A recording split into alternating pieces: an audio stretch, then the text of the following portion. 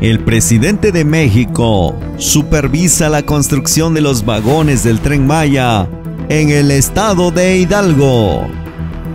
En el mes de junio del año 2021, el presidente de la República firmó un contrato para la adquisición y construcción de los vagones del tren Maya y hace unos días visitó la planta de Alstom Bombardier en Sagún Hidalgo, México donde la compañía está construyendo 42 trenes y además dotará del servicio ferroviario al tren Maya con opción a compra de hasta otros 27 trenes para satisfacer la demanda de los tramos 6 y 7 de este gran proyecto que se desarrolla en el sureste de México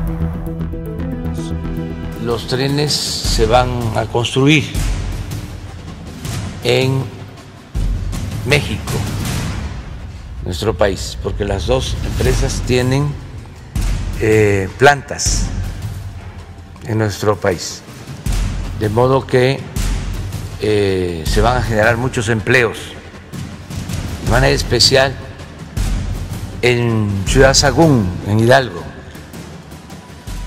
el presidente Andrés Manuel López Obrador recordó que esta misma fábrica dotó de vagones al metro capitalino en el año 2002, cuando él era jefe de gobierno del entonces Distrito Federal, y reiteró que la decisión de dar el contrato a la empresa franco-canadiense beneficiará a los mexicanos con empleos.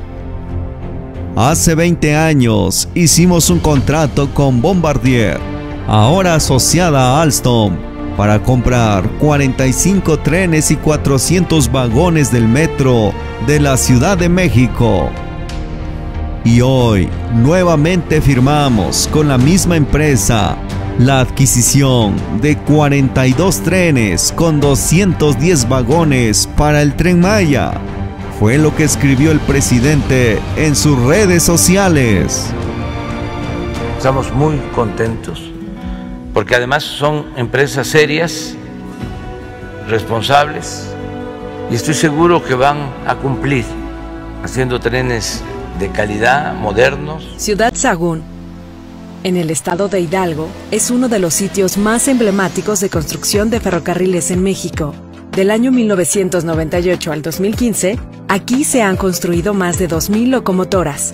También es uno de los sitios de construcción más grandes del país, con 464.515 metros cuadrados. El sitio de la ciudad Sagún cuenta con una escuela de soldadura. Tiene cinco talleres y seis aulas para formar futuros soldadores, que se desempeñarán en estas líneas de producción. El proceso de construcción inicia en los departamentos de ingeniería, diseño industrial y métodos, que definen los parámetros e instrucciones para el personal de producción. De ahí, el equipo de partes primarias comienza la fabricación de ensambles menores. El personal de producción, compuesto en su totalidad de mexicanos, es especialista en la fabricación de acero a carbono, acero inoxidable, aluminio y cobre. Los procesos especiales más utilizados son soldadura, enderezado, tratamiento superficial, pintura, pegado, torque, hook bolting, remachado y crimpado. El área de trucks produce las estructuras para las ruedas y posteriormente se fabrican bogies para cada carro. El Centro de Maquinados Especiales realiza una variedad de operaciones mecanizadas con alta precisión, alta calidad y alto acabado superficial. En las líneas 4 y 5 los especialistas producen los ensambles más grandes como cabinas para trenes ligeros. El montaje final es cuando se completa el montaje eléctrico, así como grandes subconjuntos metálicos. Después, se realizan las pruebas estáticas y las pruebas dinámicas. El laboratorio de calidad calibra y prueba todos los equipos de medición que se utilizan en el sitio. El tren Maya está en manos de expertos. La construcción se hizo y se hará en Ciudad Sagún, en Hidalgo, siempre pensando en el empleo para los mexicanos, enfatizó el presidente Andrés Manuel López Obrador, tras realizar un recorrido en compañía del gobernador de la entidad y Javier May, director del Fondo Nacional del Fomento al Turismo Fonatur, quien se encarga de la obra en el sureste del país. La construcción de los vagones del tren Maya por parte de Bombardier, ahora propiedad de Alstom, ubicada en Ciudad Sagún en Hidalgo, era un deseo del mandatario federal, incluso antes de que iniciara su administración. El contrato que ganó el consorcio es por poco más de 36 mil millones de pesos. Y además deberán construir los sistemas operativos ferroviarios como talleres de mantenimiento y construcción de puestos de control. El tren Maya contará con tres tipos de trenes que ofrecerán diversas amenidades y recorridos según los tipos de viajeros pasajeros locales, turísticas de larga estadía y de carga. Se tiene previsto que en el año 2023 los trenes comiencen pruebas en la ruta. El diseño de la carrocería de los carros del tren Maya están inspirados en el jaguar, especie endémica de la selva del sur del país. El primer tipo del tren Maya se conoce como Simbal. Este tipo de tren se ocupará para hacer recorridos estándar por las 19 estaciones de la ruta de 1554 kilómetros del tren Maya.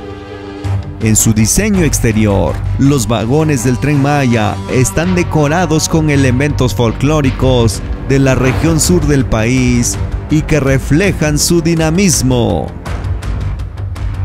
Enseguida, vemos al tren Hanal, el tren comedor enfocado al turismo.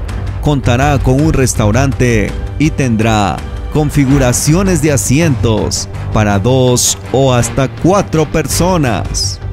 En el sureste de México también contará con el tren Patal este tipo de tren está diseñado para los viajes largos del recorrido y contará con camarotes para que los pasajeros puedan dormir durante la jornada, ya que los asientos se convierten en una cama.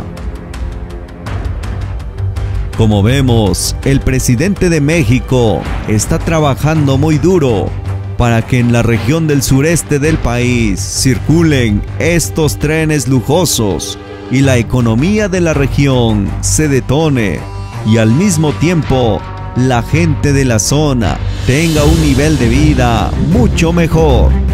Y así es como se verá el recorrido del tren Maya en este gran proyecto.